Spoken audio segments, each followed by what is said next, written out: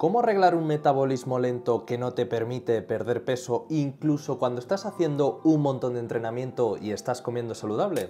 El problema para la mayoría de personas es que se motivan demasiado al principio, comenzando con un déficit calórico que es demasiado grande. Es decir, que comen como un pajarito. Y si bien se necesita un déficit calórico para perder grasa corporal, si este es muy restrictivo, entonces tu cuerpo entrará en un estado de emergencia para que gastes menos energía. Vamos, que te cuesta bajar peso aun comiendo muy pocas calorías. ¿Cómo podemos arreglarlo?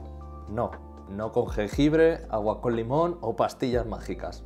Los tres pilares para acelerar tu metabolismo son llevar un déficit calórico moderado sin llegar a pasar hambre, hacer ejercicio de fuerza y tres, descansar adecuadamente. Si necesitas ayuda con tu transformación física, comenta la palabra plan y te enviamos información de nuestros servicios de planes personalizados para mujeres con poco tiempo.